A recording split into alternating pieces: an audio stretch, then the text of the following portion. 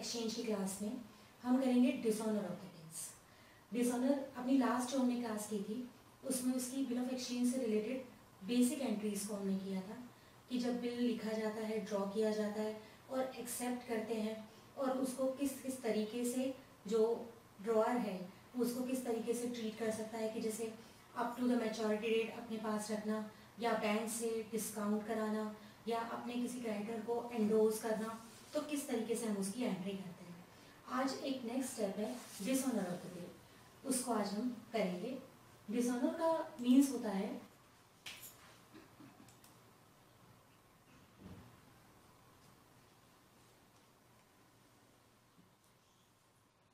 जब maturity date पर जो ड्रॉई है, जब उसकी फुल पेमेंट नहीं कर पाता किसी बिल की तो उसे हम कहते हैं डिसऑनर ऑफ़ द बिल इस केस में जो डिसऑनर ऑफ़ द बिल्स के केस में, हम उसको, पहले उसकी रिवर्स एंट्री करेंगे, उसके बाद यहाँ पर क्वेश्चन में A A is selling the goods to B for rupees thirty thousand तीस हज़ार रुपए की गुड्स हैं जो ए ने सेल की हैं। ए ने बिल लिखा बी ने उसे एक्सेप्ट किया this bill is for three months तीन महीने के लिए बिल है। ए ने उसको डिस्काउंट करा लिया from the bank twenty nine thousand two hundred fifty rupees में जब ये डिस्काउंट करा लिया है, उसके बाद on the maturity date this bill has been become dishonour वो उसने बी है he is unable to pay the amount of bill और उसको डिसऑनर हो गया। तो यहाँ तक पहले एंट्रीज करते हैं, फिर आगे क्वेश्चन को रीड करेंगे। A in the books of A हमको एंट्रीज करनी है पहले। ए ने गुड्स को सेल किया। सेल करने के लिए B account debit to sales B ने गुड्स सेल की है थर्टी थाउज़ेंड रुपीज़ की। इसके बाद ए बिल लिखेगा और बी को एक्सेप्ट हो गया है, जो बी ने एक्सेप्ट किया है। B R account debit to B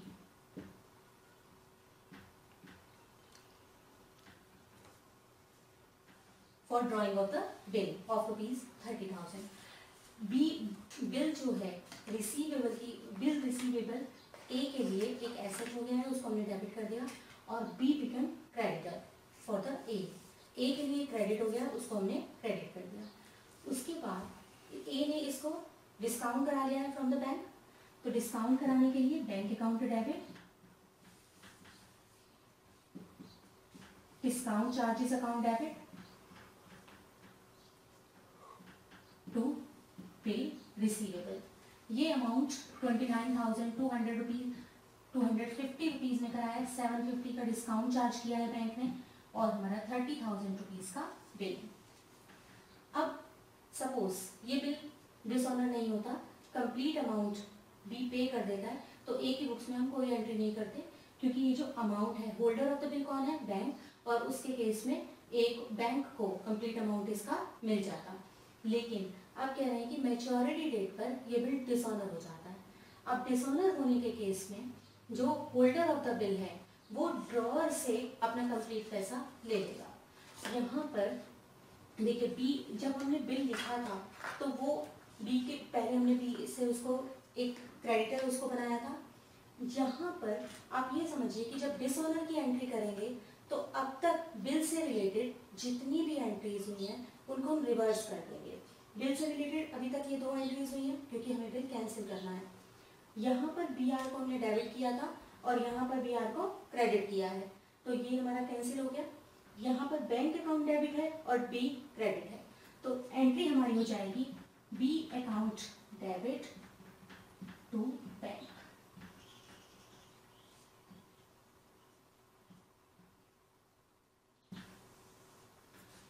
ये है for the cancellation of the bill B को हमने फिर से बी से अपने थर्टी थाउज़ेंड रुपीज़ ड्यू कर लिए और बैंक को हमने पेमेंट कर दिया।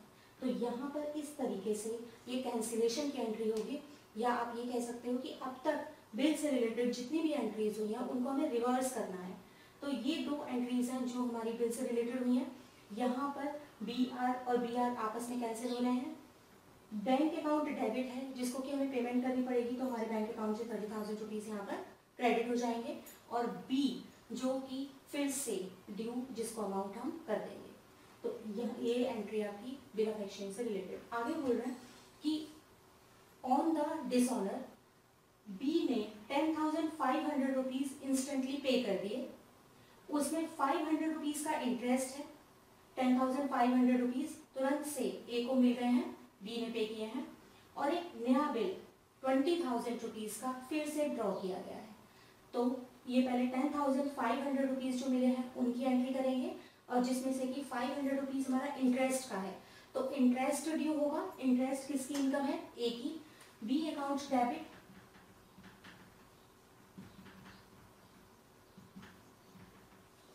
to interest ये हमें बिल को इंटरेस्ट को ड्यू कर दिया और जो कैश रिसीव हुआ है ए को बी ने पे किया है, उसकी एंट्री करेंगे। बैंक अकाउंट डेबिट बैंक या कैश जिस भी फॉर्म में दिया हो।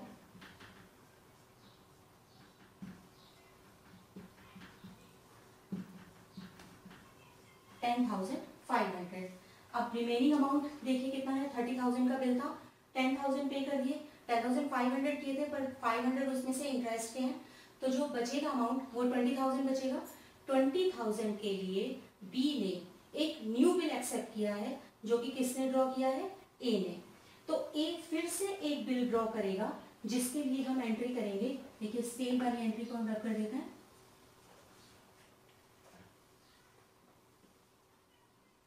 और जो न्यू बिल लिखा जाएगा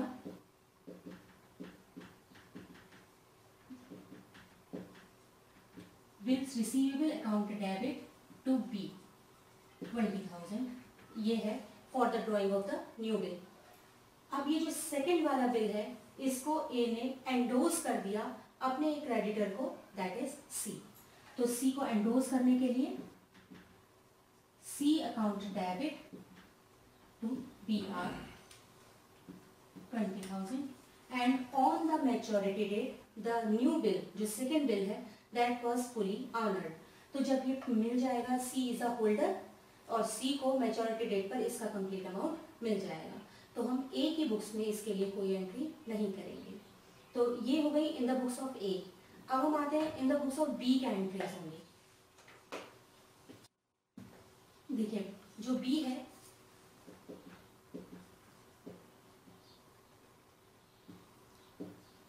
सबसे पहले गुड्स को परचेज करेगा।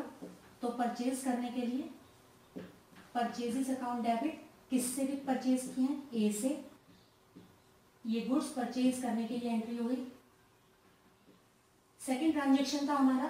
ए ने बिल लिखा था और बी ने उसको एक्सेप्ट किया था। तो बी अपने बुक्स में उस बिल को एक्सेप्ट करने के लिए एंट्री करेगा। A account debit to bills payable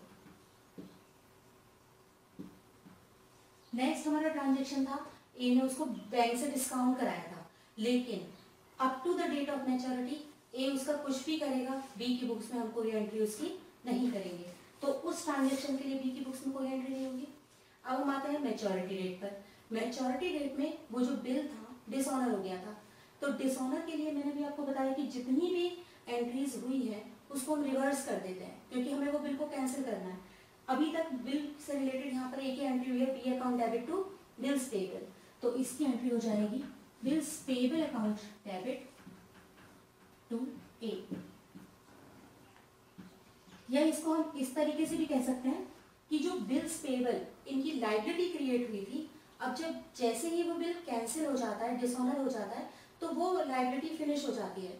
और जो ए के लिए जो क्रेडिटर है ए वो फिर से अराइज हो जाएगा।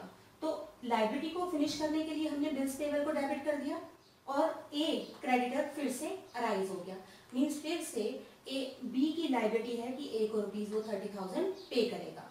तो bills payable account debit to A next हमारा ट्रांजेक्शन था कि on the dishonour of the bill A ने रिसीव किए थे ten thousand five hundred rupees जिसमें से कि टेन थाउज़ेंड तो बिल के अमाउंट में से और फाइव हंड्रेड रुपीज़ इंटरेस्ट के थे।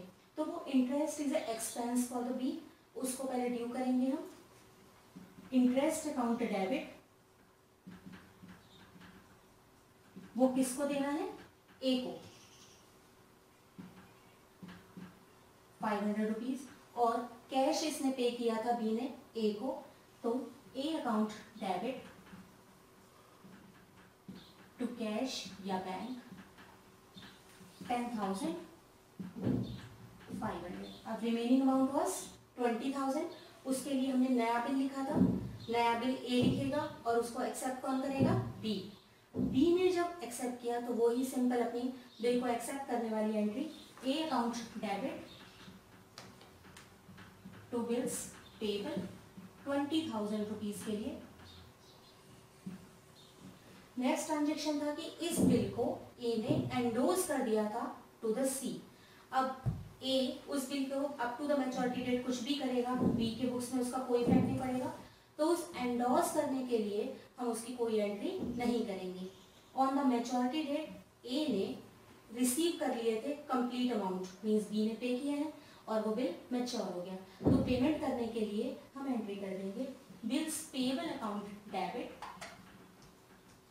to cash और बैंक जिस भी तरीके से उसने पे किया होगा। ये ट्वेंटी थाउज़ेंड रुपीज़ यहाँ पर पे हो जाते हैं। तो इस तरीके से आपने देखा कि कैसे हम एंट्री करेंगे in the case of dishonour in the books of A and B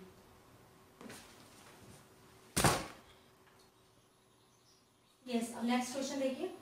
A owed rupees B owed rupees sixty thousand to and on the first January two thousand nine on the same date A ने drew किया A bill rupees sixty thousand at the two months and B return the duly accepted तो यहाँ तक तो हमारा simple question है कि B को पे करने हैं sixty thousand rupees to the A A ने बिल लिखा और बी ने उसको एक्सेप्ट कर लिया।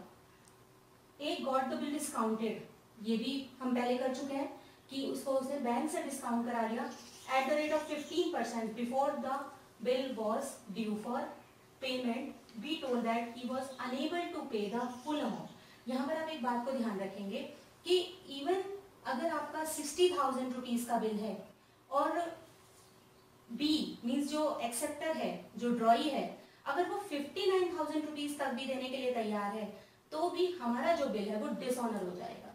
मीन्स कि जब तक कंप्लीट अमाउंट एक एक रुपये भी की भी उसमें कम नहीं रहना चाहिए, जब तक वो कंप्लीट सिक्सटी थाउज़ेंड रुपीज़ ही पे होंगे, तभी वो ऑर्डर माना जाएगा। अदरवाइज़ हमको कंप्लीट बिल को डिसऑनर करना पड़ेगा। तो यहाँ पर बी ने कहा कि वो पूरा अमाउंट नहीं दे सकता and requested to accept twenty thousand immediately sixty thousand के बदले पहले तो हम बिल को कैंसिल करेंगे, उसको डिसऑनर करेंगे। ट्वेंटी थाउज़ेंड उसने कैश में तुरंत पे किए हैं and draw the new bill for the remaining remaining amount कितना बचा? फोर्टी थाउज़ेंड सिक्सटी थाउज़ेंड का बिल था ट्वेंटी थाउज़ेंड हमें रिसीव हो गए ए को रिसीव हो गए और फोर्टी थाउज़ेंड का रिमेनिंग अमाउंट के लिए एक new bill renewal of the bill जो कि नया बिल है, वो लिखा जाएगा। Together with interest of eighteen percent और जो नया बिल हम लिखेंगे, वो केवल फोर्टी थाउज़ेंड रुपीज़ का नहीं, बल्कि उसमें एटीन परसेंट पर एन के लिए टू मंथ्स का इंटरेस्ट हम ऐड करेंगे। वो अमाउंट जो कंबाइंड होकर आएगा, उसका बिल लिखा जाएगा। ए एग्रीड इस सारे बात के लिए ए एग्री हो गया है। And the second is bar duly met और जो सेकेंड बिल लिखा गया था, वो कंप्लीट हमारा मिल गया है। ड्यूली मैट हो गया है। तो इनको हमें दोनों पार्टीज़ की बुक्स में रिकॉर्ड करना है इस ट्रांजेक्शन को। हम्म। हम इस क्वेश्चन को एक साथ करेंगे in the books of A एक पार्ट बना लेंगे और सेकेंड सेकेंड पार्ट पे और दोनों को साइमल्टेनियसली दोनों की बुक्स को मेंटेन कर लेंगे। ये ए की बुक्स हैं और ये बी की। सबसे पहले था हमारा सिक्सटी थाउज़ेंड रुपीज़ का बिल ड्रॉ करना और जिसको कि बी ने एक्सेप्ट किया है। बिल लिखने के लिए B R account debit to B और for the same transaction we will accept the bill और एक्सेप्ट करने के लिए A account debit to bills payable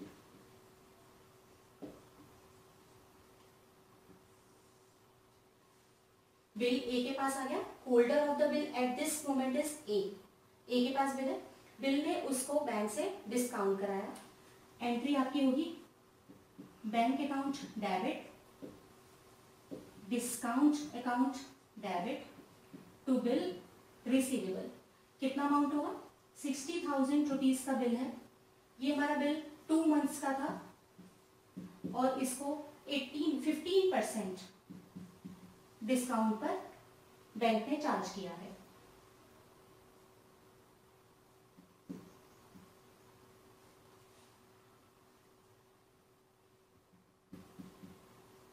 fifteen hundred rupees का discount charges total fifty eight thousand five hundred fifteen hundred के discount charges और bill आपका हो गया सिक्सटी थाउज़ेंड का।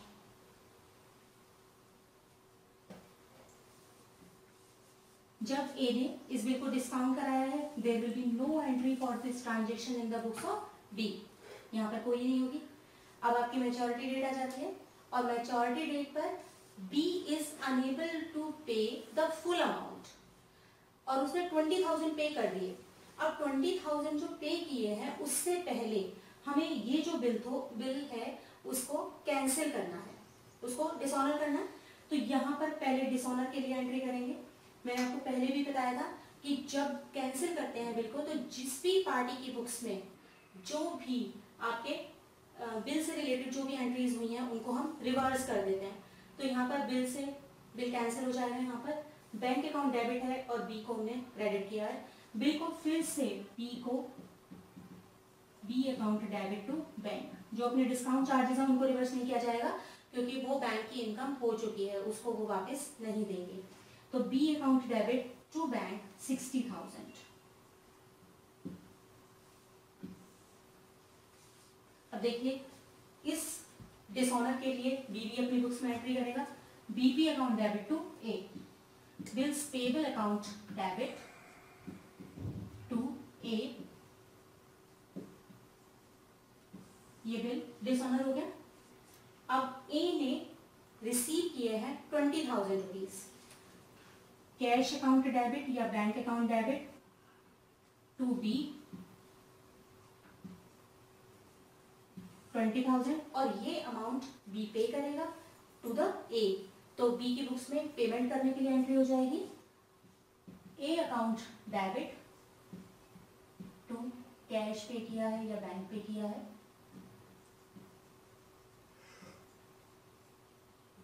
For the remaining amount remaining amount कितना बचा हमारा? Forty thousand rupees forty thousand rupees के लिए एक न्यू बिल लिखा जाएगा but with interest of two months देखिए फोर्टी थाउज़ेंड रुपीज़ है, उस पर आप टू मंथ्स के लिए बिल लिखोगे, और कितने परसेंट पर? एटीन परसेंट पर। तो ट्वेल्व हंड्रेड रुपीज़ का आपका इंटरेस्ट आ जाएगा। पहले वो इंटरेस्ट ड्यू कर लीजिए।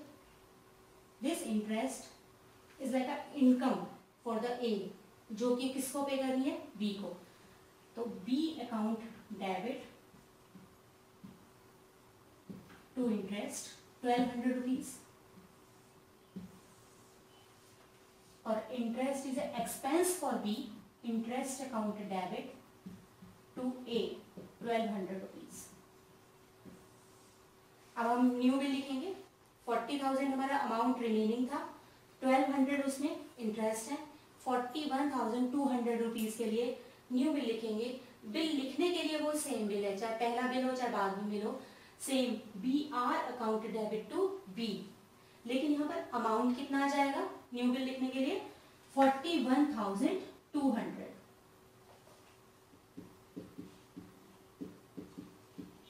और सेम वे में बी उसको एक्सेप्ट करेगा।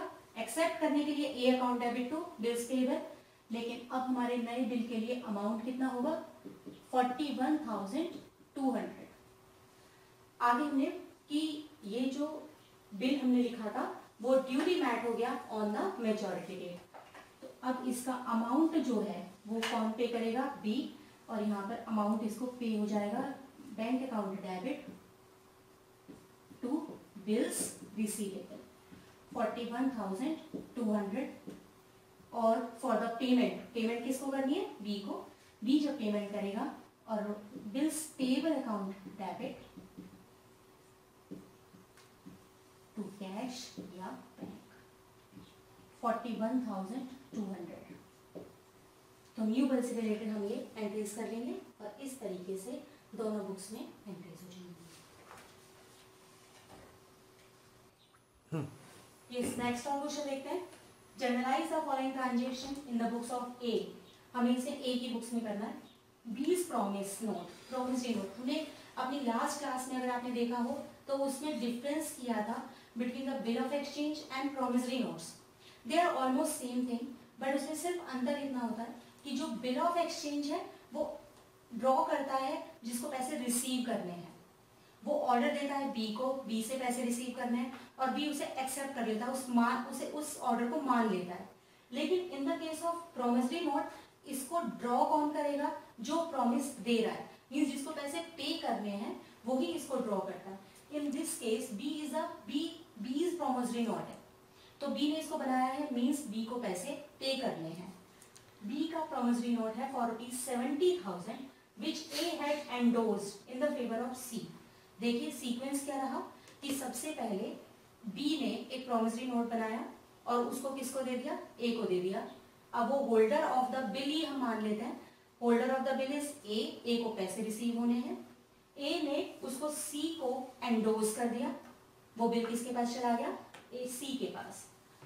और ऑन द मेचोरिटी डेट वो जो एंडोज किया हुआ बिल था, वो हमारा डिसऑनर हो गया। अब जब डिसऑनर हो गया डिसऑनर जब हुआ है वो बिल तो वो उस समय उसका होल्डर कौन है? सी सी को हमने एंडोज किया था। सी के पास वो बिल अब सी ने पे किए। सी ने नोटरी पब्लिक से उसे नोटिंग कराया और नोटिंग के लिए वन थाउज़ेंड रुपीज़ उसके लिए चार्जेस पे किए हैं। ए ने अब ए और वो ये अमाउंट जो सी है, वो ये अमाउंट किससे रिसीव करेगा? फ्रॉम द डॉर और क्योंकि उसे तो ए से ही लेने थे, उसने ए से ये अमाउंट टोटल रिसीव कर लिया। और accept from B another bill और ए अल्टीमेटली अब ये पैसे किससे लेगा? बी से. तो बी ने एक अनदर बिल लिखा है for the amount due plus interest of rupees fifteen hundred हमें इनको ए की बुक्स में ट्रांजेक्शन को जनरलाइज करना है. देखिए. ये है हमारी बुक्स ऑफ़ ए हम ए और बी दोनों की बुक्स में कर लेते हैं इन्हें. बी भी किस तरीके से ट्रांजेक्शन करेगा? वो आपको क्लियर हो जाएगा इससे। ये है ए की books and these are the books of B हमने जो क्वेश्चन स्टार्ट किया है वो एंड जब हमारा डिसऑनर हो गया, तभी से स्टार्ट कर रहे हैं। लेकिन उससे पहले क्या क्या ट्रांजेक्शन हुए होंगे, वो देखिए, पहले ए ने उसको बिल को ड्रॉ किया।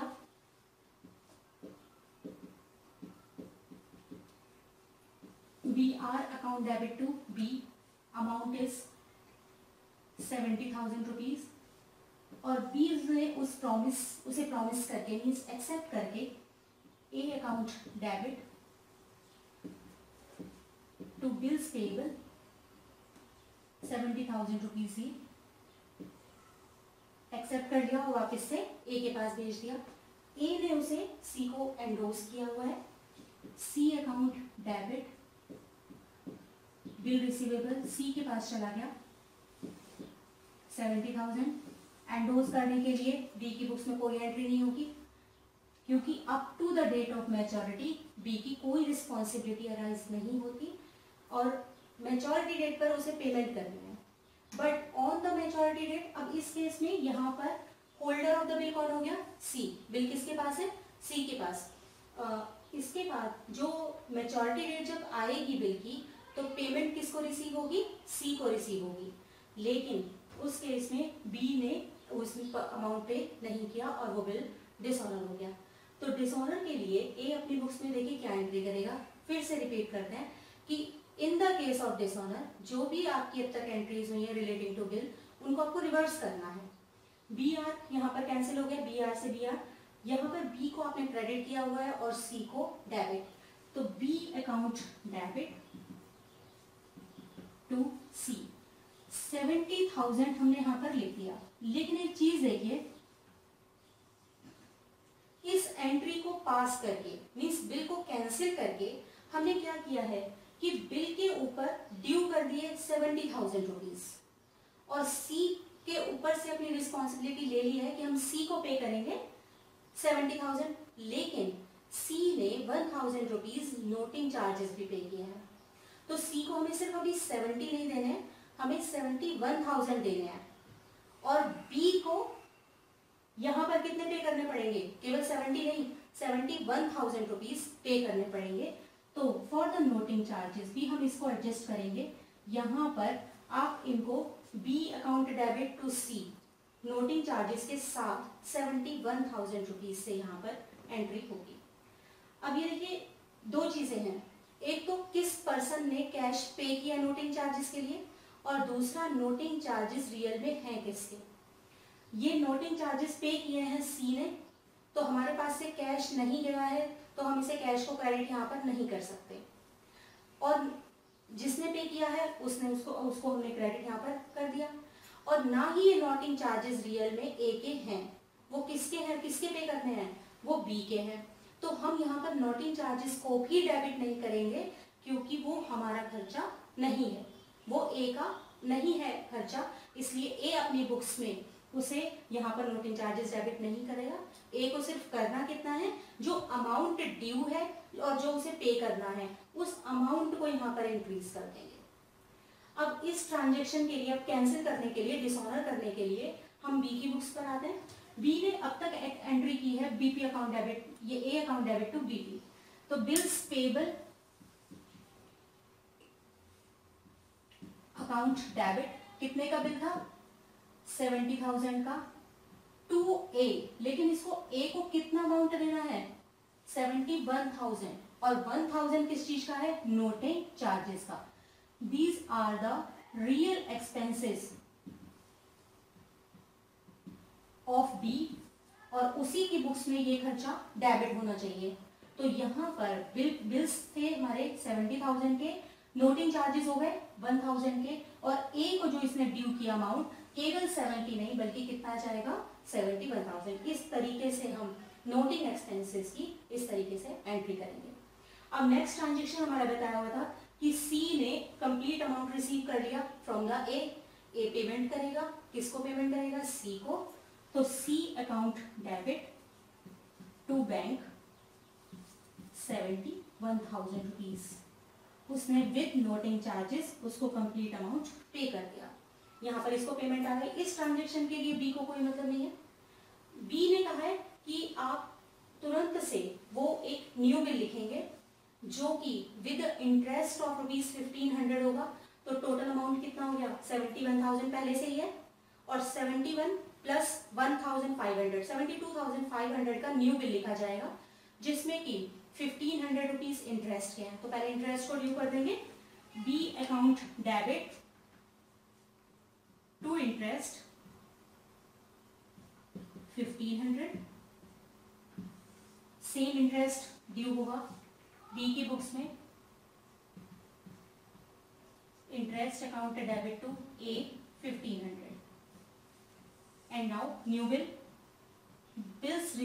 account debit to B seventy two thousand five hundred seventy one thousand पहले थे और फिर उसमें फिफ्टीन हंड्रेड का इंटरेस्ट ऐड कर दिया हमने।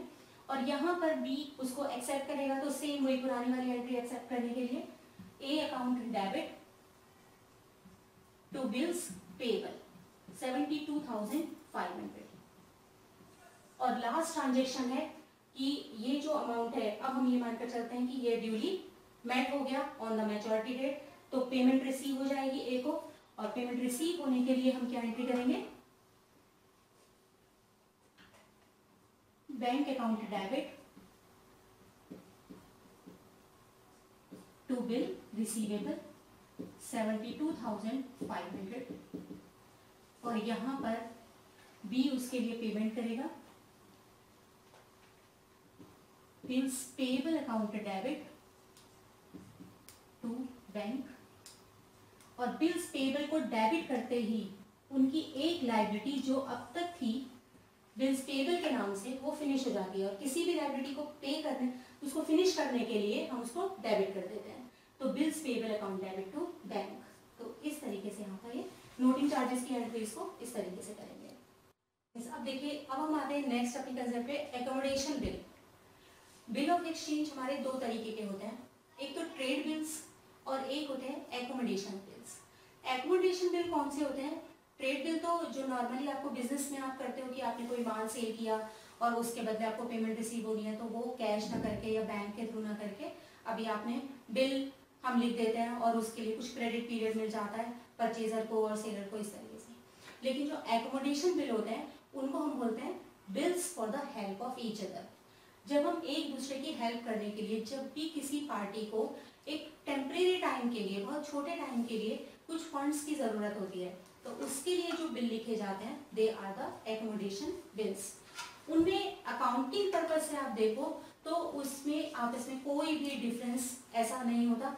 सेम जो अकाउंटिंग ट्रीटमेंट हमारा ट्रेड बिल्स का होगा सेम यहाँ पर होगा। लेकिन बस इसमें सिर्फ़ अंतर इतना है कि जो पर्सन बिल को एक्सेप्ट करेगा, वही उसकी पेमेंट भी करता है। मतलब पहले आपने एक्सेप्ट कर लिया कि आप उसको दे रहे हो। और लास्ट में वो अमाउंट आपको ही पे करना पड़ेगा ताकि दूसरा पर्सन उसको पे कर सके। तो अब देखिए इसमें है A and B were in the needs of the funds temporary on the first January 2015 A ने एक बिल ड्रॉ किया on the B for rupees four thousand for three months अब यहाँ पर ए ने ड्रॉ किया है तो ए के पास बिल आ जाएगा और एक्सेप्ट कौन करेगा? बी और बी ने उसको रिटर्न कर दिया एक्सेप्ट करने के बाद and got it discounted from the bank अब जिसके पास बिल है, उसने 18 परसेंट पर उसको डिस्काउंट करा लिया है। Half of the proceeds were remitted to B अब देखिए, जो एकोमोडेशन बिल है, इनको एक अलग कंसेप्ट ना समझकर हम अगर इस तरीके से करें कि जो भी ट्रांजेक्शन आ रहा है, उसकी एंट्री जिस तरीके से भी होती है जनरल एंट्री उसको हम उसी तरीके से यहाँ पर जनरलाइज कर दें। तो ये ज़्यादा बेटर रहेगा। ट्रांजेक्शन यहाँ पर पढ़िए और उसको यहाँ पर जनरल एंट्री कर दीजिए। अब जो भी उनका पास अमाउंट आया था बैंक का, उन्होंने उनको हाफ़ हाफ़ डिस्ट्रीब्यूट कर लिया आपस में। Half of the proceeds were remitted to the B on the due date A send the required sum to B A ने बाकी का जो अमाउंट था, वो बी को वापस भेज दिया और जिससे कि उसने उसको बिल को पेमेंट कर दिया। अब इस ट्रांजेक्शन को हमें रिकॉर्ड करना है in the both the parties A और बी दोनों की बुक्स में हम इसे जनरलाइज करेंगे। These are books of A and यहाँ पर हम बी की एंट्रीज करेंगे। फ़र्स्ट है ए ने ड्रॉ किया है बिल और बी ने उसको एक्सेप्ट किया है। Bill receivable account debit to B four thousand rupees के लिए। और बी की बुक्स में एक्सेप्ट करने के लिए करेंगे।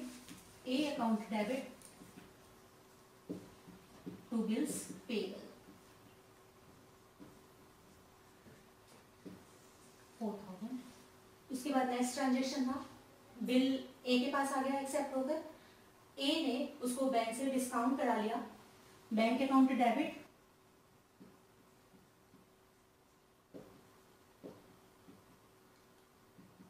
discount account debit to bill receivable four thousand का आपका बिल है for the three months for the eighteen percent per annum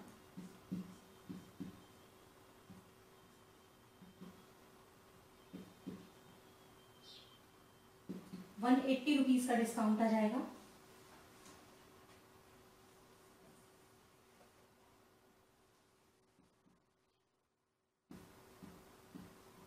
total amount हमें रिसीव होगा three thousand eight hundred twenty rupees one eighty का डिस्काउंट और four thousand rupees bills के यहाँ पर इनकी बुक्स में इस ट्रांजेक्शन के लिए बी की बुक्स में कोई एंट्री नहीं होगी। उसके बाद बोल रहे हैं कि जो ये amount three thousand eight hundred twenty rupees जो ए को रिसीव हुए, दोनों को फंड्स की ज़रूरत है, दोनों को बांटना है, उसने इसमें से हाफ़ अमाउंट बी के पास भेज दिया। तो जो बी रिसीव करेगा तो सिंपल जब किसी पार्टी कोई भी पार्टी कैश पे करेगी और दूसरी पार्टी रिसीव करती है तो हम क्या एंट्री करते हैं? ये आया है बी के पास B account debit to cash B ने टू थाउज़ेंड रुपीज़ दिए हैं, किसको? बी ने रिसीव किए हैं ए से. यहाँ पर अब देखिए कि जो डिस्काउंट है, जो चार्जेस लगे हैं वन एट्टी रुपीज़ के, जब उन्होंने अमाउंट को हाफ़ हाफ़ बांटा है तो जो डिस्काउंट का अमाउंट है, उसे भी ये लोग हाफ़ बांट लेंगे। तो यहाँ पर टू डिस्काउंट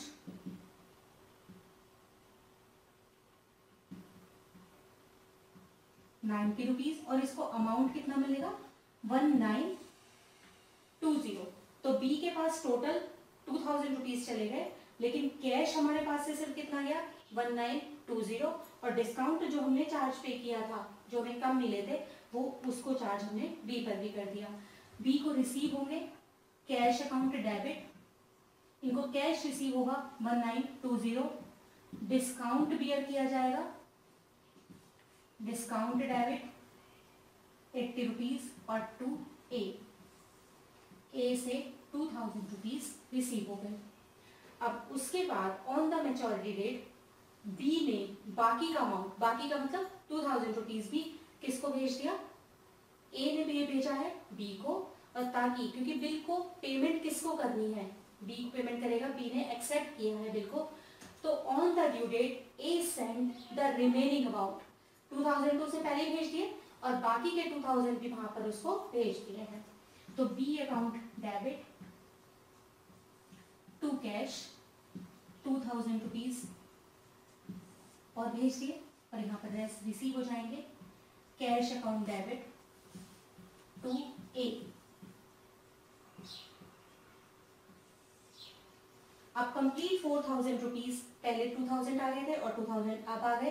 बी के पास कंप्लीट फोर थाउज़ेंड रुपीज़ आ चुके हैं, जिससे कि ये अपनी जो मेचोरिटी पर जब बिल को पेमेंट करना है तो बिल की पेमेंट कर देगा, उसको ऑनर कर देगा। Bills payable account debit to cash यहाँ पर कोई भी रिसीव नहीं होगा, क्योंकि बिल किसके पास है? बैंक के पास। और जब बैंक के पास बिल है तो होल्डर बिल है बैंक है, और बैंक को ये पेमेंट रिसीव हो जाएगी, लेकिन in the books of A हम इस ट्रांजेक्शन के लिए कोई एंट्री नहीं करेंगे। तो इस तरीके से एकोमोडेशन बिल के केस में जो अमाउंट है, वो हमारा यहाँ पर पहले जितना, पहले तो एक्सेप्ट किया, और फिर बाद में उसी की पेमेंट कर दी, और अमाउंट भी कंप्लीट यहाँ पर रिसीव हो गया